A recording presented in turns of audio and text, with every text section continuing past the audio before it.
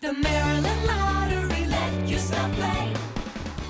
Hello, Maryland. I'm Marianne Sirk from Afternoons on 98 Rock. Let's get your pick three numbers.